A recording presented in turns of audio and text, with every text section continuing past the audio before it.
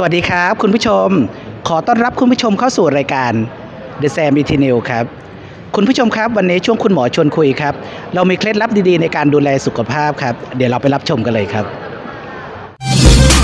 ที่เอ่อเป็นโรคบางโรคอะนะคะ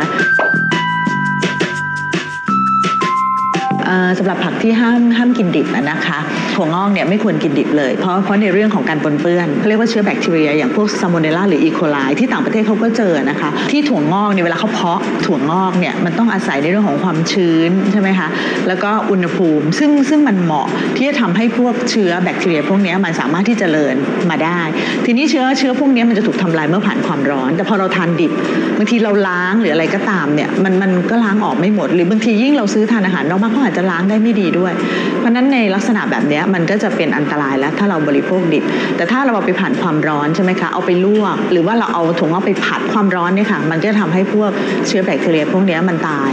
นะเราเราก็จะปลอดภัยมากขึ้น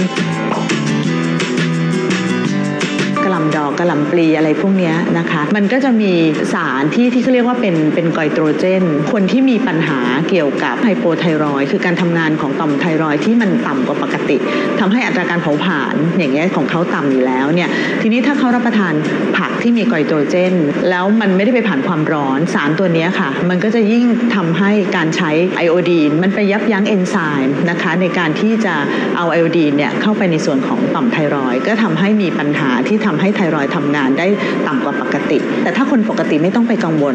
ในเรื่องของกระหล่ำปลีดิบจะกังวลในเรื่องของสารฆ่าแมลงที่ตกค้างเท่านั้นเองเวลาเราจะทานดิบเราอาจจะต้องล้าง โดยเฉพาะเราต้องต้องแยกเป็นกาบใบออกมา เพราะส่วนใหญ่เนี่ยนะคะบางทียาเนี่ยมันจะดูดซึมเข้าไปในส่วนของของที่อยู่ข้างในด้วย วกมันสำปะหลัง หรือพวกหน่อไม้ เพราะบางทีอันนี้สารไซยาไนด์เนี่ยจะเป็นอันตรายต่อต่อสุขภาพนะคะถึงขั้นเสียชีวิตได้ โดยปกติพอไปผ่านความร้อนเนี่ยซึ่งจะต้องต้มนานเหมือนกันประมาณสักสินาทีมันถึงจะสลาย เพราะนั้นอันนี้คือคือข้อต้องระวังเวลาที่เรากินดิบค่ะ ทีนี้อย่างในกรณีของของถั่วฝักยาวเนี่ยนะคะบางคนบอกว่าเอ๊ะกินเข้าไปแล้วมันมีอาการท้องอืดอะไรอย่างเงี้ยท้องอืดหรือว่ามันไม่ย่อยเนี่ยบางครั้งเนี่ยมันเป็นเรื่องของระบบลำไส้ของของแต่ละคนมากกว่าในเรื่องของการย่อยเนี่ย